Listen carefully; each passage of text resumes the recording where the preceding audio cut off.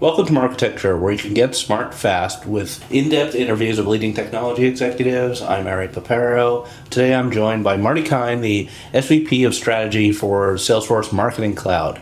Marty, thanks for being here. Oh, my pleasure. Thanks for having me, Ari. So Salesforce does a lot of things. Big company. It owns Newsweek, right? Or Time or something? Time. I kind of lost track well, of that. Well, actually, Salesforce doesn't have Time. Marc Benioff, Marc the Benioff, co-founder okay. of Salesforce, owns Time. Yeah. Okay. Um, you have stadiums named after you. It's a big company. Today, we're just going to talk about the CDP, which is, I guess, the cornerstone product of the uh, Marketing Cloud. Yep. So um, let's just get it started. So, what is the Salesforce CDP? Well, Salesforce Customer Data Platforms, aka CDP, is a customer data platform pretty much. Uh, we resisted calling it that in the beginning because the category is so disparate, heterogeneous, and confusing. Last time we checked in with Customer Data Platform Institute and our good friend David Raab, there are 147 CDPs. And I can tell you from personal experience, each one is a little bit different. But broadly speaking, our CDP does conform to the general specifications of a customer data platform. And the history of, of it within Salesforce is that around 2018, there was a survey. So I was at Gartner and I joined in 2018, four years ago. There was a survey that came out and it said, uh, ask CMOs, you know, what CDP are you using? Because CDP was a hot topic and it was up the Gartner hype cycle. And Salesforce came in first. We were the number one CDP, and, but we didn't have a CDP in market at the time. So, you know, it, within Salesforce, they said, well, what's going on here? This is a very strange category that we're winning. We're very happy to be winning, but we don't actually have one. And uh, the question was, you know, is it does it exist? Is it the same as CRM? Is it identical? Is it different? Is there something net new? And we did a build buy partner analysis and ended up realizing something it is something new and new capabilities need to be built. And the decision was made not to acquire, which is the typical Salesforce motion, but to build it on top of the Salesforce platform. So it's built on the same code base as Sales Cloud and Service Cloud, which are, you know, products that started Salesforce CRM, turned it into number one CRM, I should say.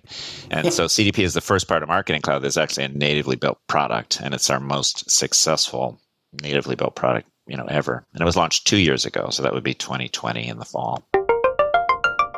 So let's walk through what the CDP is and does. Kind of, uh, we're going to have a demo for Marketecture subscribers, but let's talk about it first.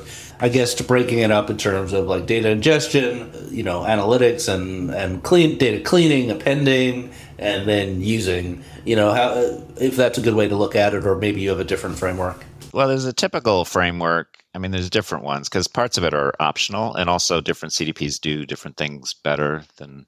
But in general, there has to be a way to ingest data. So, yes, streaming data or batch, and that could be pre-built connectors. It could be you know custom connectors, endpoints, whatever, uh, mm-hmm. APIs, and then transformation. So the data is landed somewhere, usually in a data lake, and it's transformed. So that could be light ETL. It's, this is not a MDM process. It's not a, a, real kind of you know IT type ETL process. So it's light transformation and then harmonization to a data model. That's important because you need F name and F underscore name and F name underscore to all be pointing to something called first name, so that mm-hmm. you can have a unified profile. So that's important. That's harmonization, the data model. And then there's identity management, which is maybe the hardest part, which is figuring out the person A and person B are the same person mm-hmm. or the same count. And there's all kinds of fancy math going on there. Or maybe they have the same exact email. That's easy. but it, you know, it, it can be hard. And then um, the optional part is how much analytics is built into CDP. So you have the unified profile and, you know, is there an analytics workbench? And we have a declarative kind of drag and drop interface where you could do segmentation. So you can pull attributes over if, then, and, or, but, do a count, build an audience, very easy. Some tools don't have that. You know, you, you point other tools to it. Of course, you can use BI, you can use data science pipelines. And then there needs to be an activation. So data, has these audiences that you built, either streaming or in batch, have to go somewhere. And so you have to be able to connect it to email systems you know mobile push uh, website personalization advertising call center what have you.